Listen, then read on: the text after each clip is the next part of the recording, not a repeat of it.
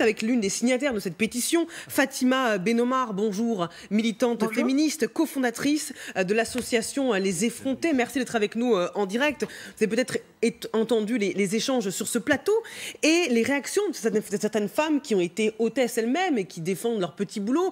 Est-ce qu'au nom de la libération des femmes, vous n'êtes pas en train d'appeler à la restriction de leur liberté? Ben, en fait, c'est vrai qu'au début, euh, nous, on s'était positionné par rapport au rôle symbolique que pouvait avoir euh, ce statut, mais c'est vrai que depuis, j'ai vu euh, les articles qui sont sortis, notamment donnant la parole à des hôtesses. Donc, j'ai vu celui de France Info, notamment, qui, qui parle de choses qui sont vraiment beaucoup plus graves que ce que je pensais, notamment des agressions sexuelles, donc les mains aux fesses.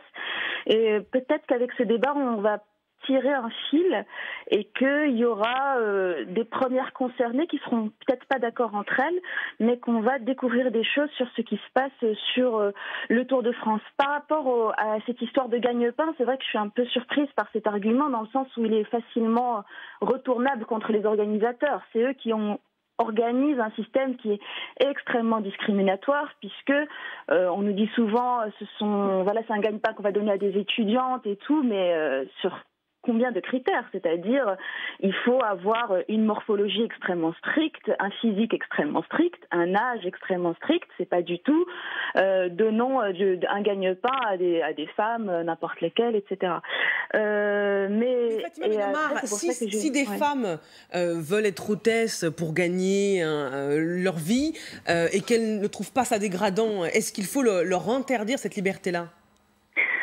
Que je pense, c'est qu'il faut peut-être essayer de faire évoluer aussi ce métier finalement, parce que là, ce qu'on voyait, c'était quelque chose d'extrêmement euh, passif, où euh, finalement le travail qu'elles allaient avoir, c'est de maintenir leur forme, euh, bah, leur extrême minceur, etc. Mais peut-être que ce qu'il faut, c'est engager des choses beaucoup plus participatives, plus accessibles, plus populaires. Moi, je, en, plus, moi, je trouve que l'enjeu de, d'intéressant les gens, d'intéresser pardon les gens au vélo est extrêmement important. Hein avoir le dérèglement climatique. Donc euh, je me dis que si par exemple le Tour de France, avec tout l'argent qu'il brasse, arrivait à organiser des petites compétitions avant avec monsieur et madame tout le monde et que la personne qui gagne euh, remet ce trophée aux gagnants, etc., je pense que ce serait beaucoup plus euh, intéressant. Et c'est vrai que ce que je vois dans les cérémonies de remise de prix de plein de disciplines plutôt artistiques, c'est une actrice qui donne à une autre actrice son, voilà, son, son, son couronnement son trophée, une humoriste à une autre humoriste. Et pourquoi dans ces, ces, compétitions qui n'ont pas encore changé, euh, ce sont des femmes choisies sur un physique extrêmement stéréotypé Fatima Ménomar, euh, euh, Dominique, Dominique qui est en plateau vous écoute et, a envie de vous poser une question. oui, comme beaucoup d'éléments interfèrent dans, dans, dans, le débat, une question. Est-ce que vous êtes pour ou contre le port du burkini dans les piscines? Je pense que ça n'a rien à voir avec la question et je pense que vous me posez la question parce que du fait de mon patronyme, c'est ça? Non, pas du tout, c'est parce que ça m'intéresse. Il faut savoir juste. Euh, si elle vous gêne, vous n'y répondez pas. Non, je trouve ça particulièrement déplacé puisque peut-être que vous ne le savez pas, même si je l'ai médiatisé. Ça fait trois jours que je reçois Bougnoul, rentre chez toi, rentre dans ton pays, va défendre les femmes volées, etc. La prochaine fois, je me tairai.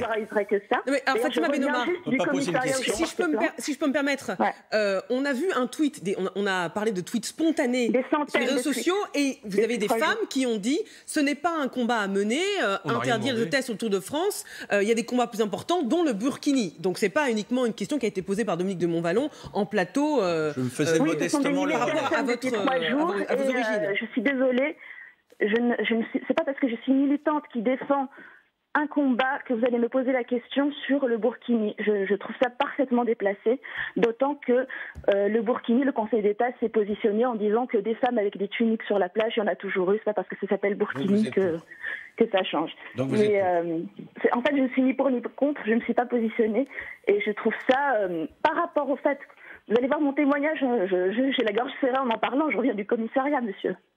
Ça fait trois jours que j'y retourne dans ton bled, euh, retourne au Maroc, euh, euh, voilà.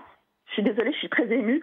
mais on, comprend votre émotion face aux attaques racistes qui sont inadmissibles. qui vit en France depuis 17 ans. Et les femmes qui ont lancé cette pétition, ce sont des Allemandes. Et ce sont des blanches. Et on leur a jamais, on, leur a pas envoyé, on leur a pas demandé de se positionner sur le Burkini. Voilà. Je comprends votre émotion. Je tenais juste à dire, Dominique Dumont-Vallon, que ça n'avait rien à voir avec vos, avec vos origines et que euh, le débat a été lancé par des femmes sur les réseaux sociaux et sans rapport avec les origines de qui que ce soit. Des autres je dirais même, eu, euh, je, je vous... dans ton bled et va euh, défendre les femmes. Non, non, mais j'entends ce que vous me dites. Leur nom a été médiatisé. Elle s'appelle Eva. Elle s'appelle Samantha, etc. Alors je et vous dis, tous mes Madame... combats, ça fait 10, 10, ans que je milite dans le mouvement féministe depuis l'année 2009. Et euh, voilà. Madame, je sur vous le dis... droit à l'avortement, sur des choses qui n'ont rien à voir en plus avec l'islam, puisque je suis pour le, la contraception, je suis pour l'avortement, je suis pour le mariage homosexuel, je suis pour la PMA. Est-ce que j'ai l'air d'une islamiste? Madame, je vous dis simplement Désolée, ceci. Je suis à fleur de peau, mais là, ça fait beaucoup, quoi. Et allez voir mon, mon témoignage sur Combini et entendre ce que j'entends depuis trois jours. Voilà. Madame, je vous dis simplement ceci, que comme je, je suis ému de la façon dont vous êtes bouleversé par la question que j'ai posée, je retire ma question. Évidemment que ce n'est pas le lieu pour qu'on s'explique ouais. et que vous m'avez prêté des arrière-pensées qui me sont totalement étrangères. En, en, tout cas, la vidéo sur Change.org est publique et j'ai fait cette, j'entends, cette euh, action. J'entends, j'irai regarder. Si vous voulez. Nous dirons Donc, regarder. Je ne suis pas une islamiste. je vous, voilà. Merci Fatima Benomar, militante féministe, cofondatrice de l'association Les Effrontés, d'avoir réagi sur LCI.